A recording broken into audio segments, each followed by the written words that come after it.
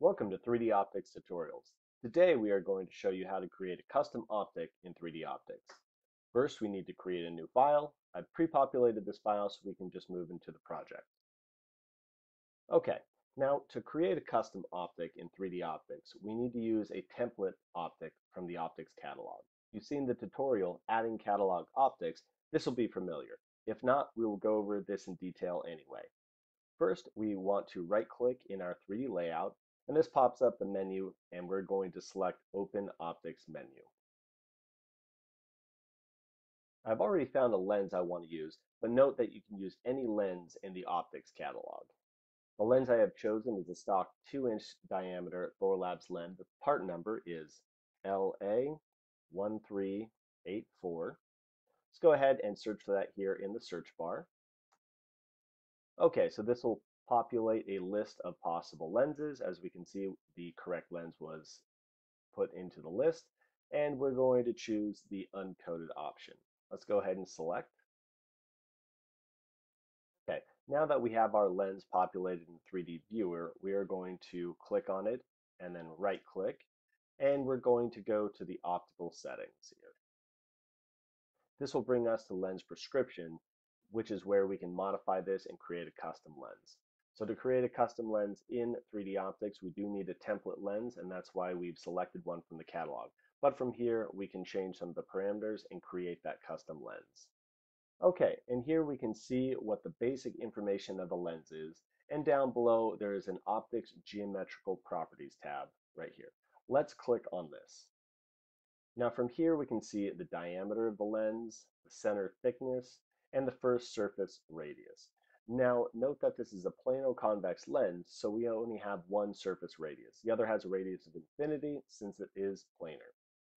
Okay, the next three parameters show the different focal lengths for the lens. Okay, now let's look at the parameter description up in the top right of the Lens 3D viewer. So if we click on Image, this will pull up an image of the parameters and how they're defined. As you can see, the effective focal length will be longer than the back focal length because it's measured from the principal plane and the back focal length from the plano part.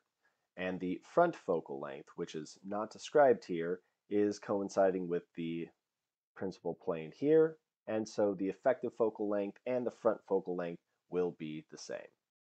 Okay, first thing we're going to do is change the name we're going to change the name to reduced diameter extended focal length.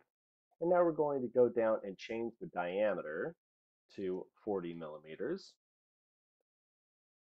All right. As you can see, it got shorter here in the 3D layout. And the radius of curvature to 200 instead of 64. Okay, as you can see, this surface got a little bit flatter. Uh, we can also see that our effective focal length, back focal length, and front focal length all change, so we now have a longer focal length lens. And note, as an approximation, the radius of curvature is roughly half of the focal length for a lens. And lastly, let's change the center thickness. Go to 5. That looks pretty good. Okay, now this can serve multiple purposes to reducing the center thickness. The first is that we can reduce unnecessary thickness of the glass substrate for the lens by making it a bit thinner. Secondly, we can increase the thickness to refract the light rays more. And lastly, we can increase the thickness to allow enough glass substrate at the edges if we're worried about manufacturability. Because if you have a very small amount of substrate at the edges of your lens, they're prone to getting damaged during manufacturing. Okay, and now the next option below is the Materials tab. Here we can select the glass substrate to use. Note that this is the only option to change here, and the dispersion equation is set to the original lens manufacturer's specification, which is the Sellmeier equation. Now, when we change the glass substrate, we will notice that both the focal lengths from the above and the dispersion information here will change as well. Now, on the right here, we can change the wavelength of interest, but note that this simply displays the specific wavelength information for all the parameters in these two tabs. So this is just something to find out what the new information is for your wavelength of interest. Back to 550. Okay, so let's go ahead and change our material.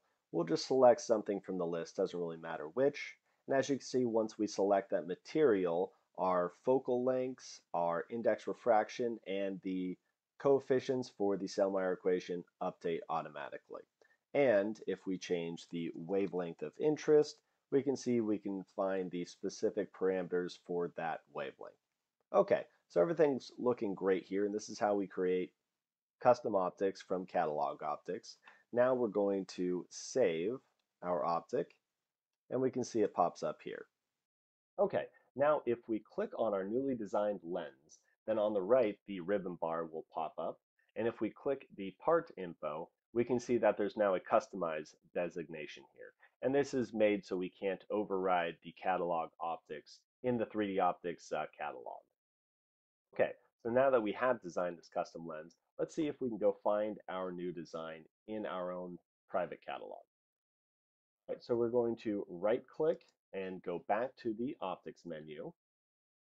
And now under ownership, we're going to go to private Okay, and down here ways we see our new design.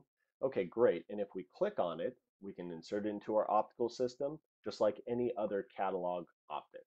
Now, this design is saved to our private optics catalog and is searchable by us. If we go back to the optics menu, if we have this set, the ownership set to private or all, we'll be able to query that lens from the optics catalog. Okay, this is a great feature to use if we want to start out with a template optic and change the parameters until the desired optical parameters are met. Now there's one other option that we can use to customize our lenses. We're going to go back to the optical settings. We're going to go to optical surfaces.